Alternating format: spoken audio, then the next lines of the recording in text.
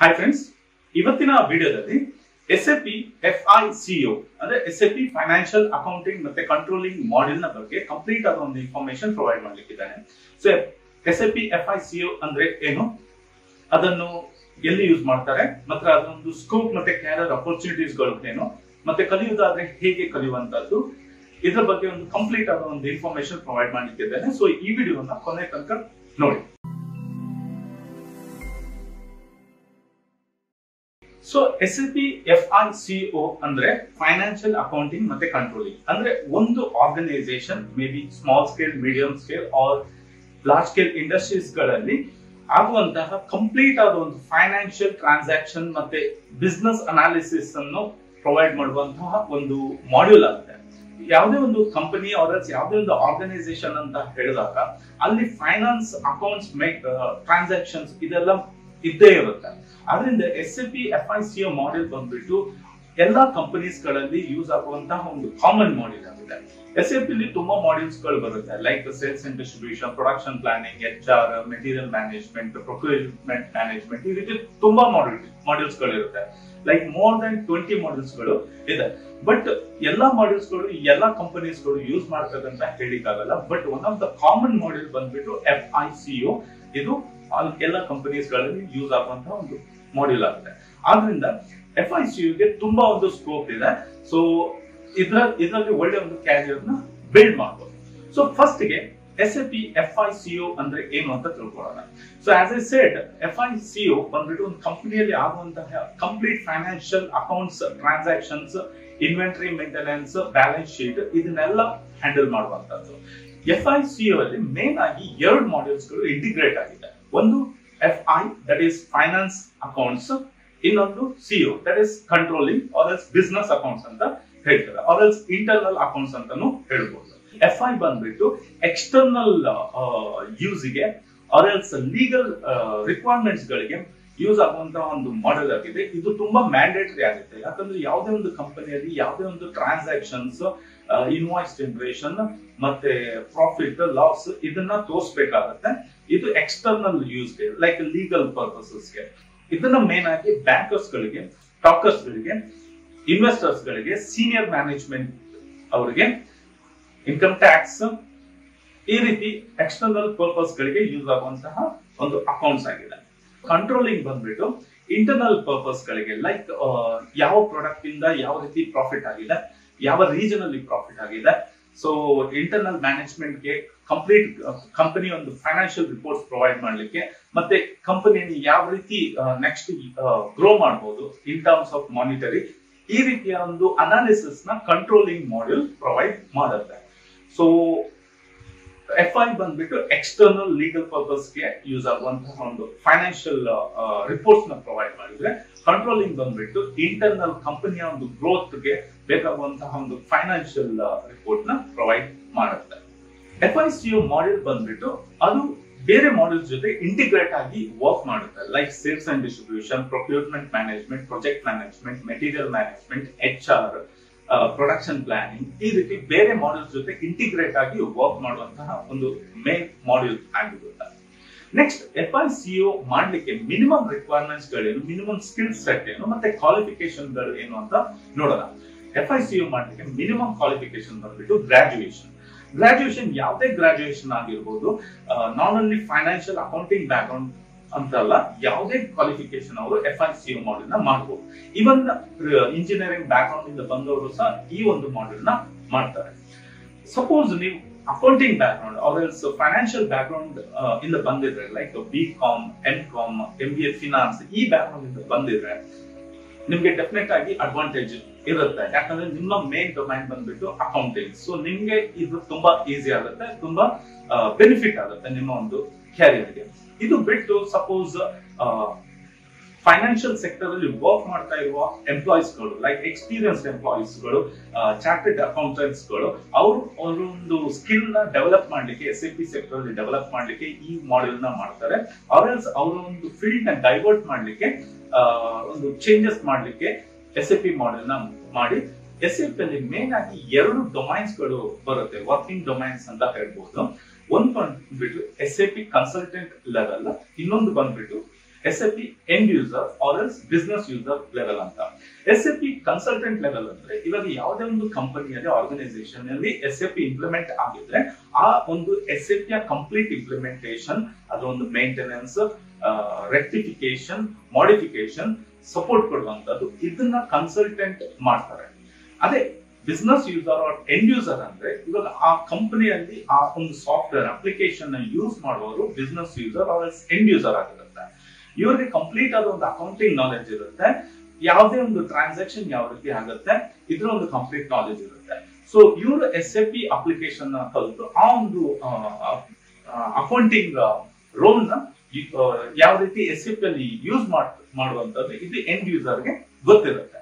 So ನೀವು ಇವಾಗ S F ಅಲ್ಲಿ ಕ್ಯಾರಿಯರ್ ಬಿಲ್ಡ್ ಮಾಡ್ತೀರಂತಾದ್ರೆ ನಿಮ್ಗೆ ಎರಡು ಆಪ್ಷನ್ ಇರುತ್ತೆ. ನೀವು ಇದರ್ ಕನ್ಸಲ್ಟೆಂಟ್ ಲೆವೆಲ್ ಅಲ್ಲಿ ಹೋಗಿ ವರ್ಕ್ ಮಾಡ್ಬೋದು ಆರ್ಎಲ್ಸ್ ನೀವು ಎಂಡ್ ಯೂಸರ್ ಅಲ್ಲಿ ಹೋಗಿ ಕ್ಯಾರಿಯರ್ನ ಬಿಲ್ಡ್ ಮಾಡ್ಬೋದು. ಸೊ ಇವಾಗ ಒಬ್ಬ, ನಾನು ಫ್ರೆಶರ್ಗೆ ಏನ್ ಸಜೆಸ್ಟ್ ಮಾಡ್ತೀನಿ ಅಂತ ಅಂದ್ರೆ, ನೀವು ಫಸ್ಟ್ಗೆ ಎಸ್ ಎಫ್ ಅಲ್ಲಿ ಎಂಡ್ ಯೂಸರ್ನ ಕಲ್ತ್ಕೊಳ್ಳಿ. ಎಂಡ್ ಯೂಸರ್ ಟ್ರೈನಿಂಗ್ ತಗೊಂಡು ಯಾವ್ದಾದ್ರು ಒಂದು ಕಂಪನೀಸ್ ಅಲ್ಲಿ ವರ್ಕ್ ಮಾಡಿ, ಅದ್ರ ನಂತರ after one or two years experience ಆದ್ಮೇಲೆ ನಿಮ್ಗೆ ಈ ಒಂದು ಸೆಕ್ಟರ್ ಅಲ್ಲಿ ಇಂಟ್ರೆಸ್ಟ್ ಇದೆ, ನಿಮ್ಗೆ ಇದರಲ್ಲಿ ಕ್ಯಾರಿಯರ್ ಗ್ರೋ ಮಾಡ್ಬೇಕು ಅಂತ ಇಂಟ್ರೆಸ್ಟ್ ಇದ್ರೆ ನೀವು ನೆಕ್ಸ್ಟ್ ಕನ್ಸಲ್ಟೆಂಟ್ ಲೆವೆಲ್ಗೆ ಮೂವ್ ಆಗ್ಬೋದು. Next S A P F I C ಯಾಕೆ ಮಾಡಬೇಕು? ಇದರಲ್ಲಿ ಇರುವಂತಹ ಒಂದು ಅಪರ್ಚುನಿಟೀಸ್ಗಳು ಏನು ಅನ್ನುವಂಥದ್ದು. So S A P F I C ಮಾಡಿದ್ರೆ ನಿಮ್ಗೆ ಬೆಟರ್ ಕಾಂಪನ್ಸೇಷನ್ ಕ್ರಿಯೇಟ್ ಆಗುತ್ತೆ. ಅಂದ್ರೆ ಒಳ್ಳೆ ಒಂದು ಪ್ಯಾಕೇಜ್ ಸ್ಯಾಲರಿ ಸಿಗುತ್ತೆ. ಸೊ ಒಂದು ಎಕ್ಸಾಂಪಲ್ಗೆ ಹೇಳೋದಾದ್ರೆ, ಒಬ್ಬ ಫ್ರೆಶರ್ಗೆ ನಾನು ಕನ್ಸಲ್ಟೆಂಟ್ ಲೆವೆಲ್ ಅಲ್ಲಿ ಮಾತಾಡ್ತೇನೆ. ಸೊ ಒಬ್ಬ ಫ್ರೆಶರ್ಗೆ suppose zero to one years experience ಇದ್ರೆ, ಅವನ S A P associate consultant ಅಂತ ಹೇಳ್ತಾರೆ. ಇವರ ಒಂದು ಪ್ಯಾಕೇಜ್ ಬಂದ್ಬಿಟ್ಟು ಫೈವ್ ಟು ಸೆವೆನ್ ಲ್ಯಾಕ್ಸ್ ತನಕ ಇರುತ್ತೆ. ಅದೇ ನೀವು ಒಂದು four to five years experience ಆದ್ರೆ, ನಿಮ್ಗೆ consultant S A P consultant ಅಂತ ಹೇಳ್ತಾರೆ. ಇವರ ಒಂದು ಪ್ಯಾಕೇಜ್ ಬಂದ್ಬಿಟ್ಟು ಟೆನ್ ಟು ಫಿಫ್ಟೀನ್ ಲ್ಯಾಕ್ಸ್ ತನಕ ರೇಂಜ್ ಆಗುತ್ತೆ. ನೆಕ್ಸ್ಟ್ ಬಂದ್ಬಿಟ್ಟು ಸೀನಿಯರ್ ಕನ್ಸಲ್ಟೆಂಟ್ ಇವರ package around twenty lakhs per annum ತನಕ ಇರುತ್ತೆ. ಆಮೇಲೆ ಮ್ಯಾನೇಜರ್ ಸೀನಿಯರ್ ಮ್ಯಾನೇಜರ್ ಇವರ ಪ್ಯಾಕೇಜ್ ಬಂದ್ಬಿಟ್ಟು twenty to forty five lakhs ಅಂತ ಇರುತ್ತೆ. ಆಮೇಲೆ ಫೈನಲ್ ಆಗಿ ಕನ್ಸಲ್ಟೆಂಟ್ ಅಂದ್ರೆ ಬರುವಂತಹ ಒಂದು ಜಾಬ್ ರೋಲ್ ಬಂದ್ಬಿಟ್ಟು ಲೀಡರ್ಶಿಪ್ ರೋಲ್ ಅಂತ. ಸೊ ಇವರ ಒಂದು ಪ್ಯಾಕೇಜ್ ಮ್ಯಾಸಿವ್ ಆಗಿರುತ್ತೆ like seventy five lakhs to more than one crores range ಆಗುತ್ತೆ. ಸೊ ಇದು ಒಂದು ಕನ್ಸಲ್ಟೆಂಟ್ ಲೆವೆಲ್ನ ಒಂದು ಸ್ಯಾಲರಿ ಅಪರ್ಚುನಿಟಿ ಆದ್ರೆ, ಅದೇ ಒಬ್ಬ ಎಂಡ್ ಯೂಸರ್ಗೆ ಒಬ್ಬ ಫ್ರೆಶರ್ಗೆ ತ್ರೀ ಟು ಫೈವ್ ಲ್ಯಾಕ್ಸ್ ತನಕ ಸ್ಯಾಲರಿ ರೇಂಜ್ ಆಗುತ್ತೆ. ಅಗೇನ್ ಅವರ ಒಂದು experience like four to five years ಆದ್ರೆ ಅರೌಂಡ್ ಟೆನ್ ಲ್ಯಾಕ್ಸ್ ತನಕ ಸ್ಯಾಲರಿ ಇರುತ್ತೆ. ಅದೇ ರೀತಿ twelve to fifteen years experience ಇದ್ದವ್ರಿಗೆ ಫಿಫ್ಟೀನ್ ಟು ಟ್ವೆಂಟಿ ಲ್ಯಾಕ್ಸ್ ತನಕ ಸ್ಯಾಲರಿ ರೇಂಜ್ ಆಗುತ್ತೆ. So twenty plus years experience ಇದ್ದವ್ರಿಗೆ minimum twenty lakhs above salary range ಆಗುತ್ತೆ. ಸೊ ಇದರಲ್ಲಿ ಒಳ್ಳೆ ಒಂದು ಸ್ಯಾಲ್ರಿ ಪ್ಯಾಕೇಜ್ ಸಿಗುತ್ತೆ ನೆಕ್ಸ್ಟ್ ಮೇನ್ ಆಗಿ ಬರುವಂತದ್ದು ನೀವು ಒಬ್ಬ ಎಸ್ ಎ ಪಿ ಕನ್ಸಲ್ಟೆಂಟ್ ಆದ್ರೆ ನಿಮ್ಗೆ ಒಂದು ಇಂಡಸ್ಟ್ರಿಯಲ್ಲಿ ಒಂದು ಒಳ್ಳೆ ಒಂದು ರೆಪ್ಯುಟೇಷನ್ ಇದೆ, ಒಂದು ಒಳ್ಳೆ ಒಂದು ರೆಸ್ಪೆಕ್ಟ್ ಇದೆ. ಮತ್ತೆ ನಿಮ್ಗೆ ಕನ್ಸಲ್ಟೆಂಟ್ ಲೆವೆಲ್ ಅಲ್ಲಿ ನೀವು ವರ್ಕ್ ಮಾಡ್ತೀರಂತ ಆದ್ರೆ ನಿಮ್ಗೆ ಬೇರೆ ಬೇರೆ ಕಂಟ್ರೀಸ್ಗೆ ಟ್ರಾವೆಲ್ ಮಾಡುವಂತಹ ಒಂದು ಅಪರ್ಚುನಿಟಿ ಇಲ್ಲಿ ಸಿಗುತ್ತೆ. ಮತ್ತೆ ನೀವು ಒಂದು ಸ್ಕಿಲ್ ತುಂಬಾ ಡೆವಲಪ್ ಮಾಡ್ಕೋಬಹುದು ನೀವು ಇಲ್ಲಿ ತುಂಬಾ ಕಲೀಲಿಕ್ಕೆ ಸಿಗುತ್ತೆ. ಯಾಕಂದ್ರೆ ಎಸ್ ಎ ಬಂದ್ಬಿಟ್ಟು ಅದ್ರ ವರ್ಷನ್ ಚೇಂಜ್ ಆಗ್ತಾನೆ ಇರುತ್ತೆ. ಇನಿಷಿಯಲಿ ಸ್ಟಾರ್ಟ್ ಆಗಿರುವಂತಹ ವರ್ಷನ್ ಬಂದ್ಬಿಟ್ಟು ಆರ್ ಟೂ ಆಮೇಲೆ ಬಂದಿರುವಂತದ್ದು ಆರ್ ತ್ರೀ ಆಮೇಲೆ ಇ ಆರ್ ಪಿ ಅಂತ ಬಂದು ಅರೌಂಡ್ ಟೂ ತೌಸಂಡ್ ಫೋರ್ ಇಂದ E R P S A E R P ಅಂತ ಬಂತು ಇವಾಗ ನಡೀತಾ ಇರುವಂತದ್ದು S A P S four HANA ಅನ್ನುವಂತಹದ್ದು. So S A P S four HANA almost two thousand twenty ಫೈವ್ಗೆ ಅದರ ಒಂದು ಕಂಪ್ಲೀಟ್ ಇಂಟಿಗ್ರೇಷನ್ ಎಲ್ಲ ಕಂಪನೀಸ್ಗಳಲ್ಲಿ ಆಗುತ್ತೆ. ಬಟ್ ಇವಾಗ ಕರೆಂಟ್ಲಿ ಕೆಲವು ಕಂಪನೀಸ್ಗಳು ಇವನ್ ಆರ್ ತ್ರೀ ವರ್ಷನ್ನ ಯೂಸ್ ಮಾಡ್ತಾ ಇದ್ದಾರೆ ಕೆಲವರು ಇ ಆರ್ ಪಿ ವರ್ಷನ್ನ ಮ್ಯಾಕ್ಸಿಮಮ್ ಆಗಿ ಇವಾಗ ಯೂಸ್ ಮಾಡ್ತಾ ಇದ್ದಾರೆ. ನೆಕ್ಸ್ಟ್ ಎಸ್ ಅಲ್ಲಿ ಕ್ಯಾರಿಯರ್ ಬಿಲ್ಡ್ ಮಾಡೋದಾದ್ರೆ or else S A P ಅಲ್ಲಿ ಕ್ಯಾರಿಯರ್ ಸ್ಟಾರ್ಟ್ ಮಾಡೋದಾದ್ರೆ ಯಾವ ರೀತಿ ಸ್ಟಾರ್ಟ್ ಮಾಡುವಂತದ್ದು ಸೊ ಆಬ್ವಿಯಸ್ಲಿ ಫಸ್ಟ್ಗೆ ಟ್ರೈನಿಂಗ್ ಇಂದ ಸ್ಟಾರ್ಟ್ ಆಗುತ್ತೆ. ಸೊ ಟ್ರೈನಿಂಗ್ ನೀವು ಹೇಗೆ ಎಲ್ಲ ತಗೋಬಹುದು ಅನ್ನ ಅನ್ನುವಂಥದ್ದು. ಸೊ ಟ್ರೈನಿಂಗ್ ನಿಮ್ಗೆ ತುಂಬಾ ಒಂದು ಪ್ರೈವೇಟ್ ಇನ್ಸ್ಟಿಟ್ಯೂಟ್ಸ್ ಗಳಿದೆ. ಇಂಡಿವಿಜುವಲ್ ಕನ್ಸಲ್ಟೆಂಟ್ಸ್ ಗಳಿದ್ದಾರೆ ಎಕ್ಸ್ಪರ್ಟ್ಸ್ ಗಳಿದ್ದಾರೆ. ಇವರಿಂದ ನೀವು ಟ್ರೈನಿಂಗ್ನ ತಗೋಬಹುದು. ಇವನ್ ಆನ್ಲೈನ್ ಪ್ಲಾಟ್ಫಾರ್ಮ್ಸ್ ಗಳಿಂದ ತುಂಬಾ S A P related videos ಗಳಿದೆ ಟ್ಯುಟೋರಿಯಲ್ಸ್ ಗಳಿದೆ. ಇಲ್ಲಿಂದ ಟ್ರೈನಿಂಗ್ನ ತಗೋಬಹುದು. ಸೊ ಎಸ್ ಎ ಪಿ ಅಲ್ಲಿ ನೀವು ಸಪೋಸ್ ನೀವು ಯಾವುದೇ ಒಬ್ಬ ಪ್ರೊಫೆಷನಲ್ಸ್ ಅದರ್ಸ್ ಯಾವುದೇ ಒಂದು ಇನ್ಸ್ಟಿಟ್ಯೂಟ್ ಇಂದ ನೀವು ಟ್ರೈನಿಂಗ್ ತಗೊಳ್ತೀರಾ ಅಂತ ಆದ್ರೆ ಮೇನ್ ಆಗಿ ನೀವು ಎಂಡ್ ಯೂಸರ್ ಟ್ರೈನಿಂಗ್ ತಗೊಳ್ತೀರಾ ಆದ್ರೆ ಇದರ ಒಂದು ಕೋರ್ಸ್ ಫೀಸ್ ರೇಂಜ್ ಬಂದ್ಬಿಟ್ಟು fifteen thousand to fifty thousand ತನಕನೂ ರೇಂಜ್ ಆಗುತ್ತೆ. ಅದೇ ನೀವು ಕನ್ಸಲ್ಟೆಂಟ್ ಲೆವೆಲ್ಗೆ ನೀವು ಟ್ರೈನಿಂಗ್ ತಗೊಳ್ತೀರ ನಿಮ್ಗೆ ಈ ಒಂದು ಕನ್ಸಲ್ಟೆಂಟ್ ಲೆವೆಲ್ ಟ್ರೈನಿಂಗ್ ಕಾಸ್ಟ್ ಬಂದ್ಬಿಟ್ಟು fifty thousand to more than three lakhs ತನಕನು range ಆಗುತ್ತೆ. It depends on organisation it depends on consultant trainer ಲೆವೆಲ್ಗೆ ನೆಕ್ಸ್ಟ್ ಎಸ್ ಎಫ್ ಪಿ ಅಲ್ಲಿ ಸರ್ಟಿಫಿಕೇಶನ್ ಅನ್ನೋದು ಸೊ ಸರ್ಟಿಫಿಕೇಶನ್ ಮ್ಯಾಂಡೇಟ್ರಿಯ ಇಲ್ವಾ ಅನ್ನುವಂಥದ್ದು. ಸೊ ನೋಡಿ, ಕೆಲವು ಕಂಪನೀಸ್ಗಳು ಲೈಕ್ ಅರೌಂಡ್ ಒಂದು ಹತ್ತು ಕಂಪನಿ ಇದ್ರೆ, ಅಲ್ಲಿ ಒಂದು ಆರು ಕಂಪನಿ ಸರ್ಟಿಫಿಕೇಶನ್ ಅಷ್ಟು ಇಂಪಾರ್ಟ್ ಮ್ಯಾಂಡೇಟ್ರಿ ಮಾಡಿಲ್ಲ. ಬಟ್ ಕೆಲವು ಕಂಪನೀಸ್ಗಳು ಸರ್ಟಿಫಿಕೇಟ್ನ ಮ್ಯಾಂಡೇಟ್ರಿ ಮಾಡಿದ್ದಾರೆ. ಸೊ ಫೈನಲ್ ಆಗಿ ಸರ್ಟಿಫಿಕೇಶನ್ ಬೇಕೇ ಬೇಕು ಅನ್ನುವಂಥದ್ದು ಏನಿಲ್ಲ. ಫೈನಲ್ ಆಗಿ ಕಂಪನೀಸ್ಗಳು ನಿಮ್ಮನ್ನ ಹೈರ್ ಮಾಡುವಂತದ್ದು ನಿಮ್ಮ ಒಂದು ಸ್ಕಿಲ್ ಸೆಟ್ನ ನೋಡಿ, ನಿಮ್ಗೆ ಒಂದು ಎಸ್ ಎ ಅಲ್ಲಿ ಯಾವ ರೀತಿಯ ಒಂದು ನಾಲೆಜ್ ಇದೆ, ಇದರ ಬೇಸಿಸ್ ಅಲ್ಲಿ ಹೈರ್ ಮಾಡ್ತಾರೆ. ಸೊ ನೀವು ಫಸ್ಟ್ಗೆ ಸ್ಟಾರ್ಟ್ ಮಾಡೋದಾದ್ರೆ ಎಸ್ ಎ ಪಿ ಅನ್ನು ಜಸ್ಟ್ ಟ್ರೈನಿಂಗ್ ತಗೊಂಡು ಸ್ವಲ್ಪ ಹ್ಯಾಂಡ್ಸ್ ಆನ್ ಎಕ್ಸ್ಪೀರಿಯನ್ಸ್ ತಗೋಬೇಕು. ಅಂದ್ರೆ ನೀವು ಬರೀ ಕಲ್ತು, ಆಮ- ಆಮೇಲೆ ಸುಮ್ಮನೆ ಕೂತ್ಕೊಳ್ಳುವಂತದ್ದಲ್ಲ ನೀವು ಎಸ್ ಎ ಪಿ ಅಲ್ಲಿ ಹ್ಯಾಂಡ್ಸ್ ಆನ್ ಎಕ್ಸ್ಪೀರಿಯನ್ಸ್ ತಗೋಬೇಕು. ಬೇರೆ ಬೇರೆ ಸೋರ್ಸಸ್ ಇಂದ ಇನ್ಫಾರ್ಮೇಶನ್ ಗಳನ್ನ ಕಲೆಕ್ಟ್ ಮಾಡ್ಕೊಂಡು ಪ್ರಾಕ್ಟೀಸ್ ಮಾಡುವಂತದ್ದು ಮೇ ಬಿ ಇಂಟರ್ನ್ಶಿಪ್ ಗಳನ್ನ ಮಾಡುವಂತದ್ದು ಪ್ರಾಜೆಕ್ಟ್ಸ್ ಮಾಡುವಂತದ್ದು ಈ ರೀತಿ ಎಲ್ಲ ಮಾಡಿ ನೀವು ಒಂದು ಸ್ಕಿಲ್ನ ಡೆವಲಪ್ ಮಾಡೋದ್ರ ಮೇಲೆ ಫೋಕಸ್ ಮಾಡಿ ಸ್ಟಾರ್ಟಿಂಗ್ ಅಲ್ಲಿ. ಆಮೇಲೆ ಬೇಕಿದ್ರೆ ನಿಮ್ಗೆ ಸರ್ಟಿಫಿಕೇಶನ್ ಬಗ್ಗೆ ನೀವು ಯೋಚಿಸಬಹುದು ಇವನ್ ಸರ್ಟಿಫಿಕೇಶನ್ ಬಂದ್ಬಿಟ್ಟು ಎಂಡ್ ಯೂಸರ್ ಲೆವೆಲ್ ಆದ್ರೆ ನಿಮ್ಗೆ eight thousand to twenty five thousand ತನಕ ರೇಂಜ್ ಆಗುತ್ತೆ. ಅದೇ ಕನ್ಸಲ್ಟೆಂಟ್ ಲೆವೆಲ್ ಅಲ್ಲಿ ಬಂದ್ಬಿಟ್ಟು ಸರ್ಟಿಫಿಕೇಶನ್ ಕಾಸ್ಟ್ ಬಂದ್ಬಿಟ್ಟು ನಿಮಗೆ ಫಿಫ್ಟಿ ತೌಸಂಡ್ ಇಂದ ಟೂ ಲ್ಯಾಕ್ಸ್ ತನಕನು ರೇಂಜ್ ಆಗುತ್ತೆ. ಸೊ ಇದರಲ್ಲಿ ಮಿನಿಮಮ್ ಅಟೆಂಪ್ಟ್ಸ್ ಅಂತ ಇರುತ್ತೆ. ಸೊ ಕನ್ಸಲ್ಟೆಂಟ್ ಲೆವೆಲ್ ಅಲ್ಲಿ ಕೆಲವೊಂದು ಒನ್ ಅಟೆಂಪ್ಟ್ ಅವ್ರ ತ್ರೀ ಅಟೆಂಪ್ಟ್ಸ್ ಈ ರೀತಿ ಇರುತ್ತೆ. ಇವನ್ ಅದು same thing minimum three attempts ತನಕ ಇರುತ್ತೆ.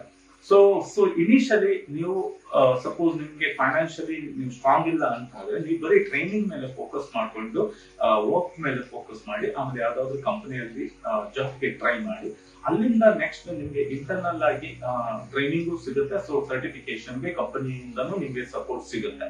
ಸೊ ಆದರ್ಸ್ ನಿಮ್ಗೆ ಒಳ್ಳೆ ಕಾನ್ಫಿಡೆನ್ಸ್ ಬಂದ ಮೇಲೆ ನೀವು ಫೈನಾನ್ಷಿಯಲಿ ಸ್ಟ್ರಾಂಗ್ ಆದ್ಮೇಲೆ ಕಾನ್ಫಿಡೆನ್ಸ್ ಬಂದ ಮೇಲೆ ಆಮೇಲೆ ನೀವು ಬೇಕಾದ್ರೆ ಸರ್ಟಿಫಿಕೇಶನ್ ಮಾಡ್ಕೋಬಹುದು ಎಸ್ ಎ ಪಿ ಕಲ್ತ ಮೇಲೆ ನೆಕ್ಸ್ಟ್ ಏನು ಮಾಡುವಂಥದ್ದು? ನೋಡಿ ಎಸ್ ಎ ಪಿ ಒಬ್ಬ ಫ್ರೆಶರ್ಗೆ ನಾನು ಹೇಳುದಾದ್ರೆ, ನಿಮ್ಗೆ ಎಸ್ ಎ ಪಿ ಕಲ್ತ್ರೆ ನಿಮ್ಗೆ ಇಮಿಡಿಯೇಟ್ ಆಗಿ ನೀವು ಜಾಬ್ ನಿಮ್ಗೆ ಜಾಬ್ ಸಿಗುತ್ತೆ ಅಂತ ಹೇಳಿಕ್ ಆಗಲ್ಲ ಬಟ್ ಡೆಫಿನೆಟ್ ಆಗಿ ಎಸ್ ಎ ಪಿ ನಿಮ್ಮ ಒಂದು ರೆಸ್ಯೂಮೆಗೆ ಒಂದು ಬೂಸ್ಟ್ ಸಿಗುತ್ತೆ. ಮತ್ತೆ ನೀವ್ ಏನ್ ಮಾಡ್ಬೇಕಾಗುತ್ತೆ? ಆ ಎಸ್ ಎ ಪಿ ಏನು ನೀವು ಕಲ್ತಿದ್ದೀರಾ? ಅದನ್ನ ನೀವು ಬ್ರಷ್ ಅಪ್ ಮಾಡ್ತಾ ಇರ್ಬೇಕಾಗುತ್ತೆ. ನೀವು ಕಲಿ ಪ್ರಾಕ್ಟೀಸ್ ಮಾಡ್ತಾ ಇರ್ಬೇಕಾಗುತ್ತೆ.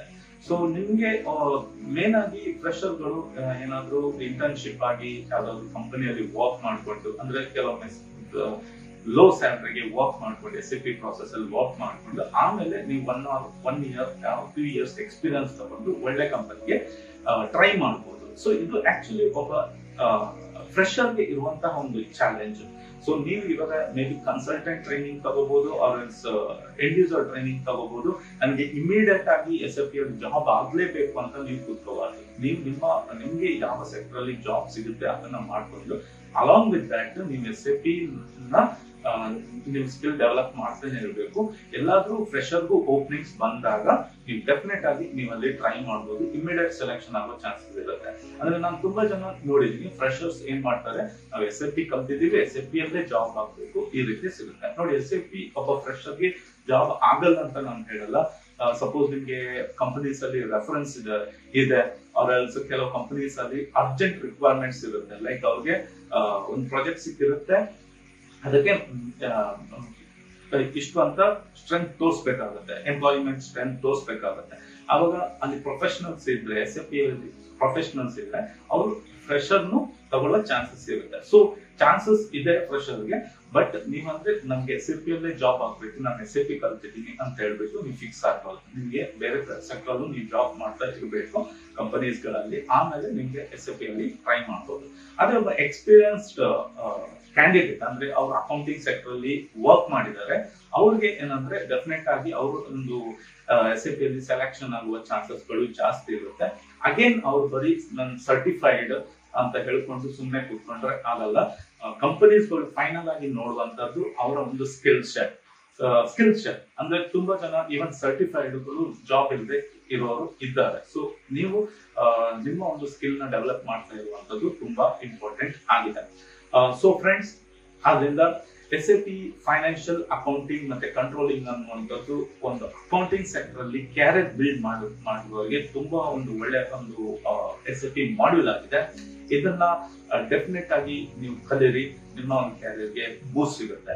ಸೊ ಫ್ರೆಂಡ್ಸ್ ಈ ಒಂದು ವಿಡಿಯೋ ನಿಮ್ಗೆ ಯೂಸ್ಫುಲ್ ಆಗಿದೆ ಅಂತ ನಾನು ಅನ್ಕೊಳ್ತೇನೆ. ಯೂಸ್ಫುಲ್ ಆಗಿದ್ರೆ ಪ್ಲೀಸ್ ಲೈಕ್ ಮಾಡಿ. ನೀವು ಲೈಕ್ ಮಾಡೋದ್ರಿಂದ ನಮ್ಮ ಒಂದು ವಿಡಿಯೋ ತುಂಬಾ ಜನರಿಗೆ ರೆಕಮೆಂಡ್ ಆಗುತ್ತೆ, ತುಂಬಾ ಜನರಿಗೆ ಯೂಸ್ ಆಗುತ್ತೆ.